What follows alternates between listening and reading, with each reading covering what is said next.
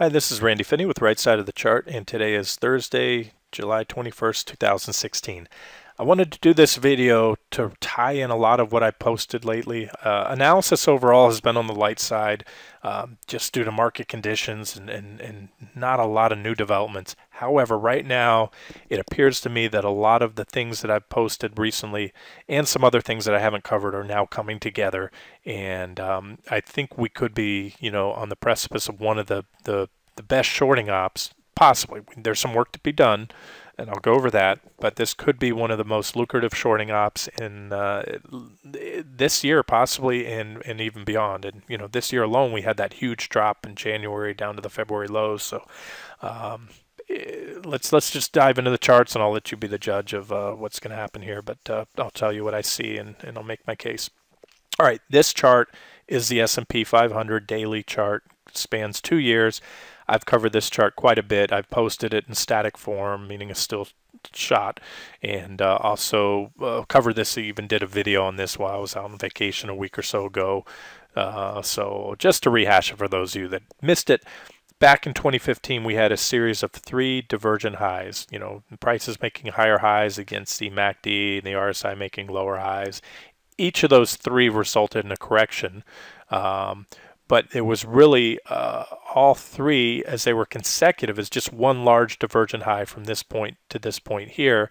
And that gave us this huge drop really because that marked the highs back in 2015 and we never saw those highs again until just recently. So this was really the result of those divergences how they played out.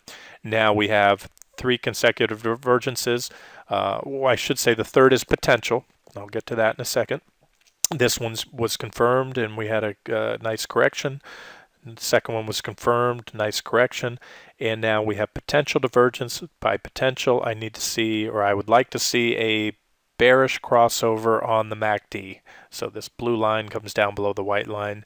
Uh, we're already seeing it roll over, which is, is so far so good for the bearish case.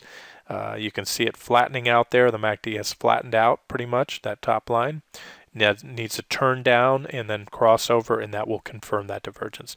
The RSI has already rolled over off a lower level, made it put in a lower low and uh, you know so far yeah we, we weren't down much today it was only third of a percent so it looks like a big red candlestick but I wouldn't it really can't take too much from today's action. We're probably going to have to wait until early next week to see if any of this materializes, but uh, all right, by being stacked, let's now look at the 60 minute time frame. About a week or so ago, or over the last week, I highlighted bearish rising wedge patterns on the 30 minute index charts, or at least on the SPY and QQQ. I did that on the 30 minute because we didn't have divergence yet on the uh, NASDAQ 100. We had it on the SPY, just barely. You can see it here up to this point. Uh, the SPY broke down and has really gone nowhere. If I put the crosshairs where we broke down last week, you can see today we closed right at that same level. So we're really, we've gone sideways and we went as about 30 basis points higher from that point. So we've really gone nowhere but sideways. Uh, so, you know, glass half full, you're bullish, you say, oh, the bears can't take this market down for anything. And glass half empty, you say, well, we broke down from bearish rising wedge, just as we did past back here. Uh, we pushed back up. We didn't fall initially, pushed back up to above the breakout point where we broke down from, and then the selling kicked in. And so anything can go, anything can happen from here. But based on the look of this charts, I strongly favor a downside move. In fact, I, I'm I'm holding off, but I want to let you know that I'm ready to pull the trigger on official short trades for the broad market soon, as well as a handful of others on my watch list, individual stocks. Um, you know, been I've been cautious lately. They're just we haven't had the sell signals. This rip was strong, and you can't short it. You know, I've I've thrown out a couple trade ideas. We've had a couple stopped out recently, but uh, for relatively small losses. But the point being, uh, is is be ready if you are a short side trader or if you agree with this analysis. And by all means, if you want to short here and put stops above, um, I can tell you it, it looks pretty objective. This uh, looks uh, like a very good shot that by tomorrow or next week we'll have these sell signals confirmed. What I mean by that, you know, had you shorted this wedge back here when it broke down, Uh, it wasn't yet confirmed. We had another push back up just above the breakout point. It was to this point where I put the crosshairs down here where the 1333 trend indicator crossed and the 9 EMA, my trend indicator with the 9 EMA on that MACD moving below the zero line, both of those confirmed right there. So they told you, okay, at that point it was safe to get in the water and short. And uh, the market dropped.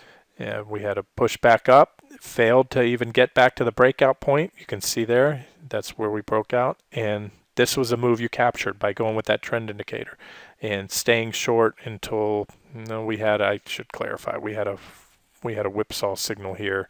Um, and I don't see, yeah, that, that, I think, what was that? Oh, that was the Brexit. That was the Brexit meltdown. Yeah.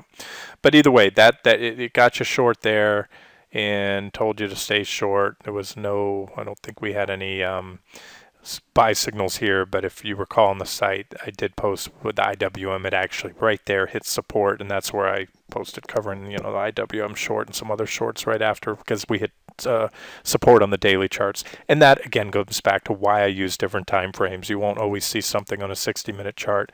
And I can tell you this, if you do see two levels, one on a 60 minute chart, one on a daily chart, go with that level on the daily chart. The longer the time frame, the more significant that support or resistance is. All right, so back on task here. All right, so that's what I'm looking for. Break below this level here would probably trigger that selling right this the horizontal line. It's at 20 21 almost 2157 uh, on the S&P 500. That'll bring us down to at least that 2115 area, in my opinion. That's that would be my minimum downside target. And again, you want to see these trend indicators confirm. Jumping back to the daily chart real quick, what will that do? If I'm correct and we go down to the 2115 area, uh, let's say even say 2116 right here. Yeah, I call it 2117. Looking at the daily chart, holding that line, I see this reaction here, this previous reaction. That would be my minimum target. Now, what would that do? It would, if it happens in the next day or two, the move starting, uh, we start to move lower in the next day or two, that will give me the bearish crossover that I'm looking for and confirm this divergence. Um, this is very big to me. If we get this divergence confirmed um, and see some impulsive selling down there, that would measure out or indicate a move much larger than a drop down to 2017, much larger than that, you know, 1.7 or less than 2% drop. It would indicate something more on the scale of what we had here here, just based on these divergences. It would also mean that the new highs failed. We had the new highs were broken out. I'm going back, if you look right here, back in 2015. So that was around 2133-ish. It would take us under that level. Uh, I will say, just to you know, to keep some balance here, that um, it's not if we if that new high fails on the S&P, it's not the end of the world. From my experience, a lot of new highs uh, are back tested, and when they're back tested, that back test takes it takes prices back into just below where the previous high was. I don't know whether it's intentional to run the stops, shake a few people out, but that that would be relatively healthy price action. So draw it out. You know, if so, if you're bullish and I'm correct in the near term with that 60 minute chart scenario. We come back in, we, we give up the new highs, but then you go, you buy it, the support here that I just mentioned at 2117, and then we could blast off the new highs. Keep in mind, that's going to have that negative divergence. Uh, you buy there, I'll stay short because I don't go long. I don't buy breakouts to new highs with negative divergence on the daily chart. I just don't do it. Uh, I'd rather see the market walk away from me than go against my you know my my trading style and something that I've done for years. Uh, so this is the S&P on a weekly chart. Um, not a whole lot to discuss there. Let's go on the NDX. Oops, wrong one. NDX. NDX, there's a weekly chart there. You can see the primary trend line in purple, breakdown back test. Then you see this white uptrend line, breakdown back test. But what I wanted to show you on the NDX is another scenario. Some of you have probably pointed this out or noticed this. There's a potential head and shoulders pattern, a very large one forming on the NASDAQ 100. And I'll zoom in here. You have a left shoulder here, this left shoulder, a head, and then a right shoulder. Now, you want to see symmetry on head and shoulder patterns, or at least somewhat symmetry. So the fact this is a very large left shoulder is fine because so far this has been a large right shoulder. And uh, what we would need to see from here, however, in order to keep that symmetry intact, we're getting really close to the head. I wouldn't want to see the NASDAQ go up any more than where we're at right now. So just one potential scenario to watch for. And what you'd need to see is a reversal very soon. Uh, that would be down to the neckline, probably have a bounce there and then a move down. This is just the measured target if it does play out. Take the move from the head to wherever the neckline breaks. That would take us down to about the 3200 level or so on the NDX. But more importantly, this head and shoulders pattern, if that is what it is or proves to be, is confirmed so far with volume patterns, and that's what uh, I think a lot of people fail to do on uh, head and shoulders. You want to see vo increased volume and impulsive selling off the formation of the head, so from the head down. And if you look down below, we had those in increase in volume. And you also want to see the same thing on the formation of the right shoulder after the top's been put in. Impulsive move down and an increase in volume. So those are things I'll be looking for. And again, that's whether that happens or not, uh, I'm more focused right now on these daily divergences. You still have divergence, but we really need to turn down soon on the NDX, um, or those divergences get burned through. I want to say that it's not the end of the world. If divergences are burned through, especially I'm tracking all these indices. I'm tracking the NASDAQ composite, the NDX, the small caps, mid caps, you name it. Um, if one or two indices burns through their divergence and the others don't, and then we start to reverse and they have confirmed divergence, that that's fine. Um, you know, back in 27, uh, 2007, the market top, uh, we burned through divergence on the MACD. I think we still had it on the RSI. Some indices had it, some didn't. Uh, so it's not a, a, complete, it's not an absolute requisite to see a divergent high on a market top. Uh, but it is an indication. These are momentum indicators, and they just show waning momentum and uh, an impending or a likely trend change. Uh, so I've already given the levels that we need to see, and uh, at least I went over on the uh, on the SPY. Was it? I think I gave you a level on the SPY. Here's the NDX uh, on the 60-minute chart. Just jumping back. There's that rising wedge pattern.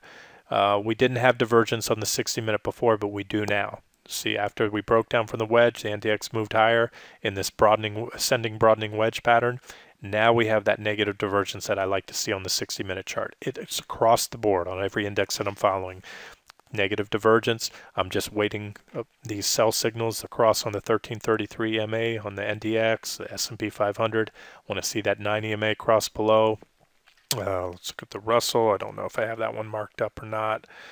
Uh, well, I don't have it marked up as far as uh, this chart here, but I can tell you here's a little pattern to watch right here. You can see some pretty well, you know, the NASDAQ or the Russell 2000s in the sideways trading range. So really a break below this level and especially below that 1191 level, that previous reaction high.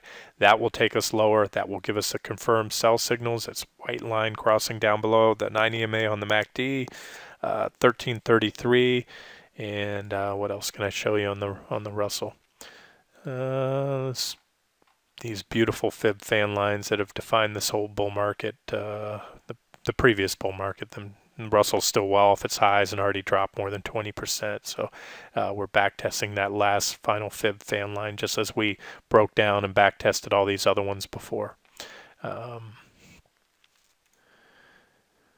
Mid caps, uh, don't forget about the mid caps. They're a very important segment of the market. This is the S&P 500, uh, S&P mid cap 400 index, and uh, just a beautiful, clean chart. Uh, it's a big, a, a very well-defined bull market primary uptrend line right here off the 2009 lows, terminating in a wedge pattern. I don't have it drawn here. You can do it, and you could add lines, and you can see that. Uh, take a second to do it we had, you know, that wedge was confirmed by divergence, and um, we broke down, pulse a breakdown, back tested the wedge, back tested, back tested up here, and so far turned down. Now we're we're testing those highs. So right now, at this point, we have a double top high, potential double top high in the mid cap um, 100 or mid cap 400 index, excuse me. And this is a story with the mid caps. We're in this sideways trading range. And if a double top pattern, if you look this up on the internet, you'll see the, uh, you know, the definite the criteria for double top pattern. This is if if we reverse here, we need to reverse here. This is the bottom range of that double top pattern. And so to calculate the move on the double top pattern, you take the uh, distance. Oops, need to do a different screen tool. You take the distance of the pattern, which is this right here, and then add it to where it breaks down. And coincidentally or not, I didn't have this I didn't use this level. Actually, if you put it right there exactly, then it would take you just a hair below my target. But this is my target before all is said and done in the mid cap. So whether we punch out to a new high, which so far will be a divergent high on the weekly chart, um, that's very solid support, and I think that's where the mid caps go down uh, before all is said and done, and that's going to be a, uh, you know, if that happens, it'll take a while to get there. That's a 34% drop. Uh, Here's the daily chart. You can see the divergent high back in 2015. There's a drop of over 20%. And now we still have, and this one's actually almost confirmed. You can see the MACD is, is already pointed down. We've curled down. We haven't made that cross yet. But, uh, unless the mid caps can power higher and break through here and make a sustained breakout, uh, we're going to have negative divergence here. And that's a pretty steep divergent high. So that's something to watch for uh, on the mid caps. And then finally, yeah, I already covered the Russell, didn't I? Yeah, I believe I did. Uh, did I cover it on the daily chart? If I didn't, there it is. Negative divergence still in place. Triple triple divergence, consecutive divergence at key resistance. This is a, a, a, key resistance zone that I mentioned before. And I'll wrap this video up just by letting you know, which I have in the on the site, but in different posts. Maybe this was in the trading room. This is the VIX. Pardon all the other past trend lines. Well, actually, we should note the past trend lines because what I've noted on here, uh, each of these levels, divergent low, prices on the VIX making a divergent low, divergent low, divergent, uh, divergent low, divergent low. So I've marked, this isn't cherry picking, I've marked every divergent low on here um, going back, uh, what is this, two years. And both on the MACD and the RSI, you can see the divert positive divergence in place. This green line, S2, I've had this level on my chart forever and a day. This is a uh, very, very important key long-term support level that has contained the VIX for years. And that's where we fell to the other day. We punched right through it intraday. You can see that little hammer right there.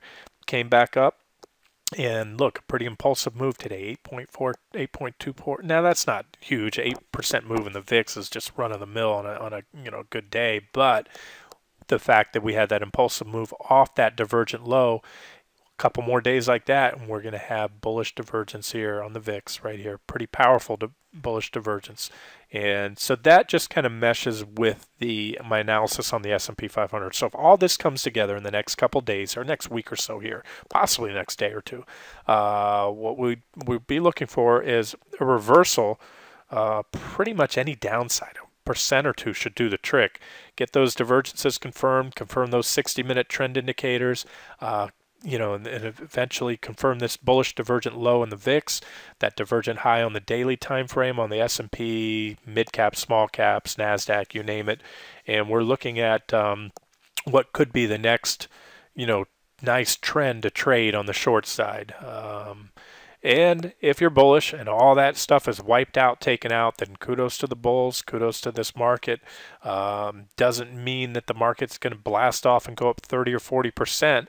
Um, we could just punch out. Maybe this market needs to have a, a blow off top, and, and uh, you know, if if what we just saw wasn't a blow off top, I mean, goodness, you look at the move off the you know post Brexit lows, and that to me qualify easily as a blow off top.